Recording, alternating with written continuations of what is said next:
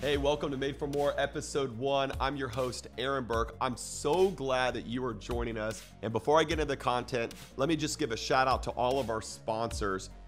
Okay, we have no sponsors. It's just me and a couple of the guys at Radiant in a studio, but I really am glad that you're with us today. I believe this content's going to help you.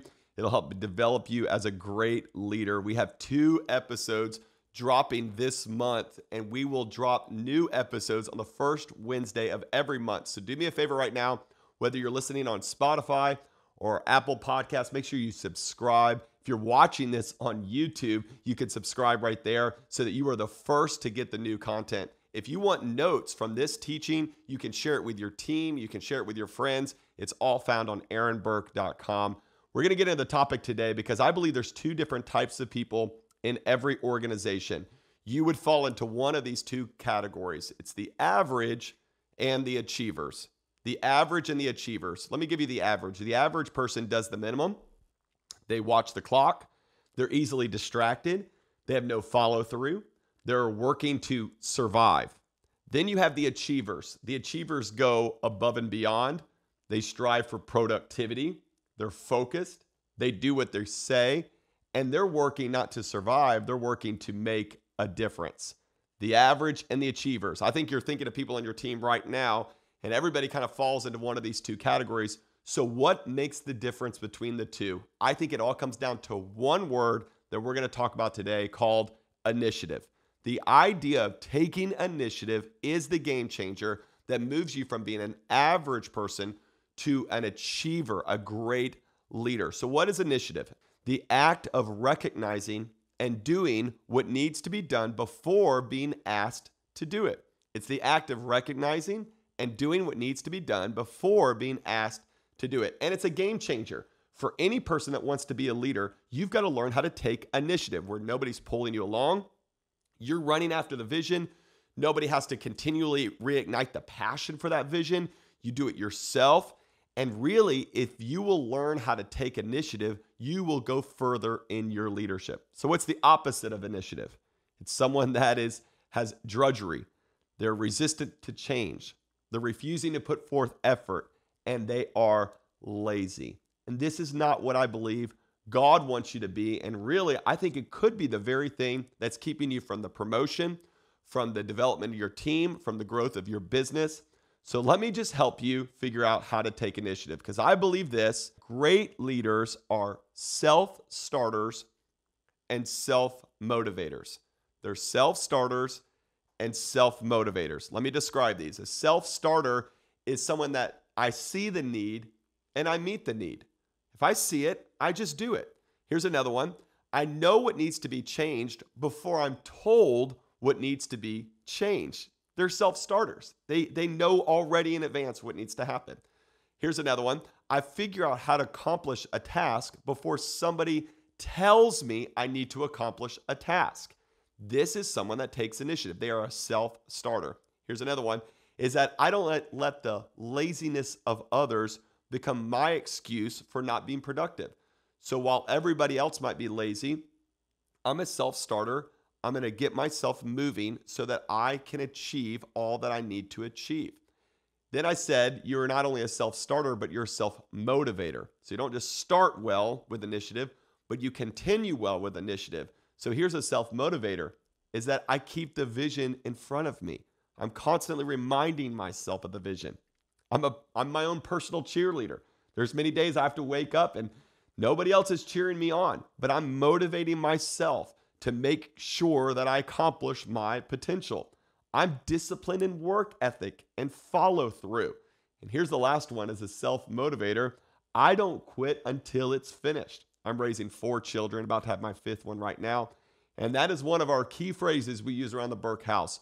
We don't quit until it's finished. We do it all the way. Why? Because we are people that take initiative People that take initiative are great leaders, and great leaders are always self starters and self motivators. And I believe not only this will help you in life, but it'll help you become more like God. Really, it's important that we understand that God is someone that took initiative. He developed things way before we even needed them. You got to think, He created continents that had no people on them for thousands of years. Why?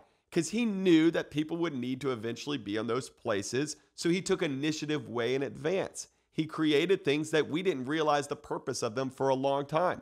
We still don't know the purpose of cats. He created them, and we realize eventually one day we'll figure out why he created those mutant creatures right there. If you don't know me well, I make fun of cats a lot. So we understand God is a person that takes a lot of initiative. That is why he is a great leader. And we are called to be great leaders and they're self starters and self motivators. Here's the ultimate idea. Ready? Is that taking initiative ultimately means taking responsibility for your own success. Say it again. Taking initiative ultimately means taking responsibility for your own success. So I'm going to give you four keys on how to take initiative. Four areas of your life that if you'll take initiative, you'll grow in leadership. It doesn't matter if you work as a teller in the bank, if you're a cashier, if you're a regional manager, or if you're the CEO. I want you to know that if you will apply these four keys, you will go further in leadership because you are taking initiative. Here's the first one is that I want you to take initiative with your boss, or you could put in there your director, your leader, whoever it is, your board, whoever is over you. You will only thrive as much as that relationship with your boss thrives. So, a lot of you guys have way too much conflict. You're biting the hand that is feeding you by not taking initiative and not honoring your leader. So, I want you to know this that when I look back at my life, I've thrived in areas where I took initiative with my boss. For six years, I was a youth pastor and kind of an associate pastor under a lead pastor of a church in Pensacola.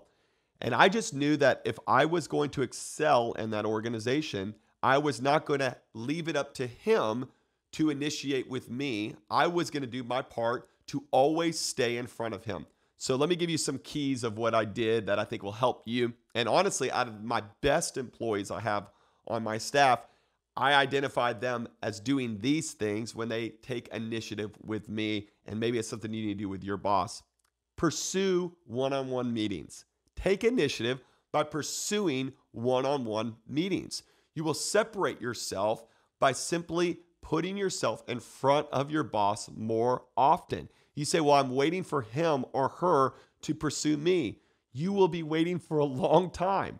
Instead, take initiative. Remember, it is it'll help you become a great leader who is a self-starter and self-motivator. By what? Putting yourself in front of them. Here's another one is take initiative by presenting goals to your boss.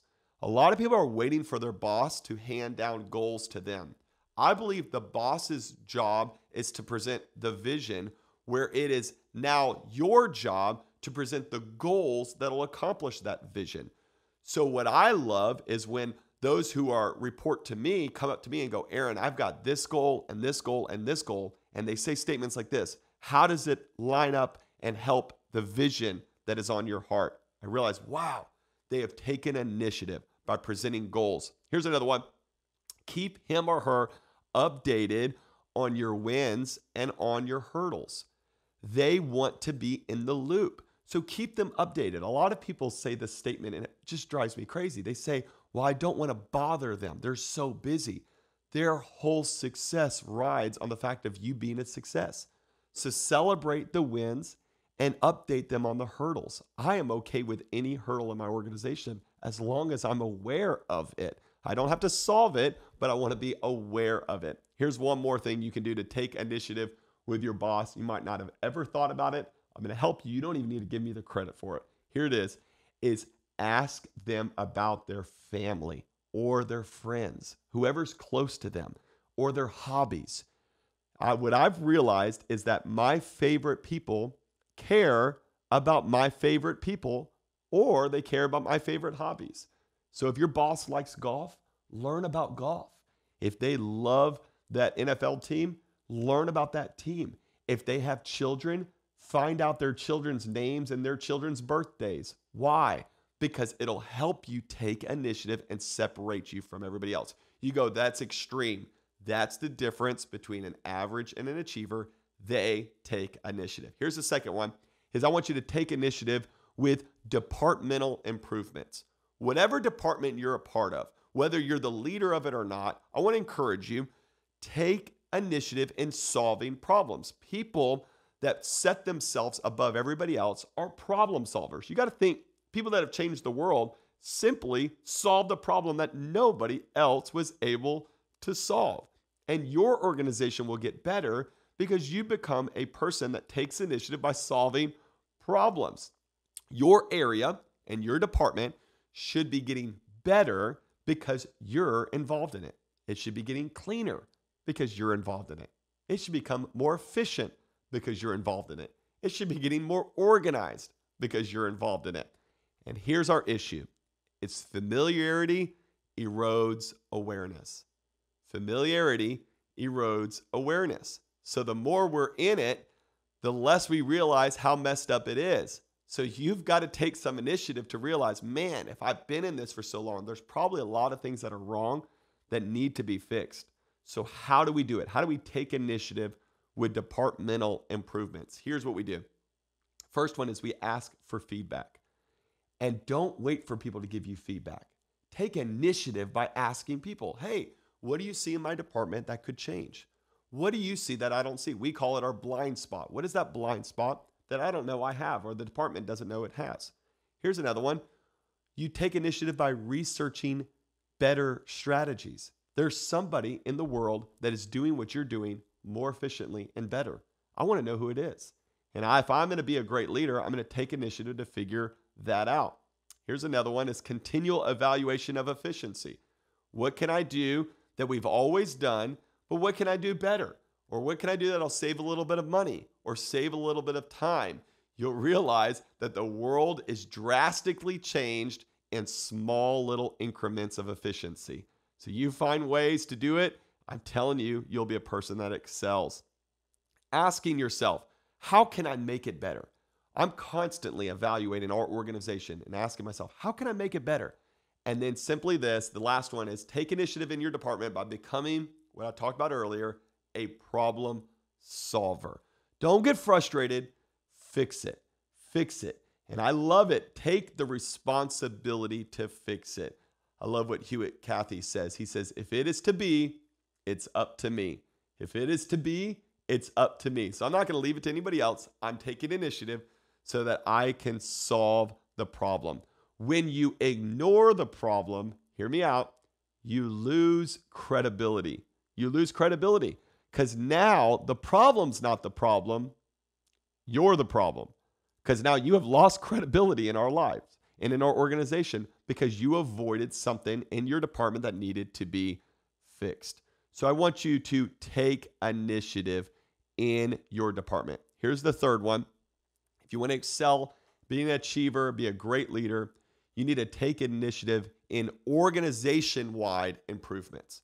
So it's not just your department, it's the whole organization. What can we do to make the company, to make the church, to make the nonprofit better as a whole? Even if it doesn't affect you, you will stand out in the organization if you learn to take initiative with organization wide improvements. The people that have excelled the most in our organization are those that are constantly coming up to me, not just telling me how to make their departments better, but how to make every area better, church wide or organization wide or nonprofit wide. So we in our organization realize that there's no li- area that's off limits. We are all in this to take initiative to make this thing better because when one part of our organization wins, every part wins. So, how do we take initiative in the organization? Here's a couple keys I wrote right there in your notes. It's have the attitude of an owner. You are not an employee, you're an owner. When I worked at 15 years old at McDonald's, they gave me a little pin that says I was part of the Mick crew. You know, I felt like an owner to this. I wasn't just helping with the drive through. There was something going on. I would jump into the kitchen to help them get caught up, or there was a spill in the lobby. I'd jump out there and try to mop it up. Why? Because I've always had an attitude that whatever I'm a part of, I'm not simply going to be an employee, I'm going to be an owner of that. And I got promoted quickly. I remember I went from 515 an hour to 535 an hour in my first couple months. I thought I had struck gold at McDonald's, ladies and gentlemen. But it was an attitude of taking initiative that I believe if I would have stayed there, I would have kept climbing that ladder to become an owner. And I think it'll change everything. Here's another way is look at your organization through the eyes of the key customer or the guest. So if you're a nonprofit, look at it through who are you trying to reach? If you're a company, who is the guest that's coming in your door? If you will look through their lens, you will realize, man, there's things that need to change. And that is how you can take initiative because you can say, as a guest walking in here, we probably should fix this. Or as part of our key customer, they're thinking this. And when you fill in that blank, your manager or your director or the owner of the organization says, man, that employee stands out. They're taking initiative and that'll help you excel. Here's the last one with it is that you're giving solid, well thought out feedback to those who need to hear it. So we realize that our organization, if you want to take great initiative, you give good feedback. You do it really well in a life giving way. We call it the sandwich method. We tell them what they're doing well, then we tell them what they can fix, and then we tell them what they're doing well. Sandwich it all together. But those who go the furthest in our organization give well, solid, thought out feedback. They take initiative. They don't wait for other ever, other people. They do it on their own. Okay, here's the last one. Number four. So let me just recap for just a second. Number one, take initiative with your boss or your uh, leader or your director. Take initiative with departmental improvements. Find what in your area needs to change. Remember, if that problem doesn't get fixed, then that's really not the problem. You're the problem. So we need to fix that. Here's the third one take initiative with the organization or the company wide improvements. And lastly, take initiative with personal growth. Nobody else can fix you except for you. And right now, you're doing that. You're listening to this podcast, you're sharing it, you're subscribing every month, you're taking notes. Why? Because you want to be better. I believe that's really why you're listening to Made for More. Even the name, you sit there and you go, Yes, I am made for something else. I just don't know how to get there. Take some initiative with this. So, what do we do? Here's what I do in my life. What does taking initiative with personal growth look like? I'm constantly evaluating where I'm at. I can't change where I'm going until I'm honest about where I'm at. And you have to be honest. Where are you at? How is your physical health? How is your mental health? Are you actually educated right now? Have you gone through schooling? How are you pursuing excellence in every area of your life?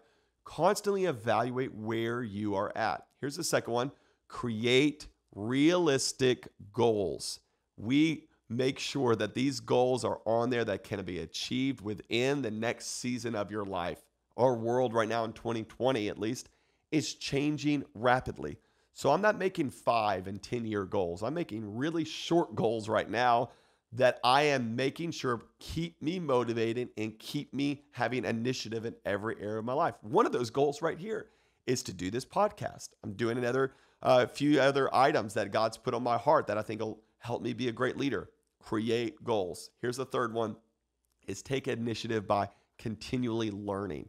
Read books. Remember every reader is a leader. When you stop reading, you stop leading. And I want to challenge you be a reader. I'm always trying to read a book that is helping me spiritually and another book that's helping me in leadership. So I would encourage you be a leader, constantly grow. And the last one is simply this, and I know it might give a little pushback, but we're going to talk about taking initiative and I'm going to challenge you, so here it is. Is stop dreaming and just start doing. Some of you guys dream all the time. You've got a new idea every week, a new plan every month. You've tried about 18 different diets because you keep dreaming about the next one. Just stay consistent, do. And those who dream are usually overtaken by those who do. Let me say it again those who dream are usually overtaken by those that do. So I'm not saying don't dream big, of course, dream big, but put some action behind it. I believe this, and I'll close with this the difference between those who do something and those who don't do something is that those who do something do something. Let me say it one more time. The difference between those who do something and those who don't do something is that those who do something, do something. You are made for more. How do you get there? Take initiative. I'll see you on the next episode.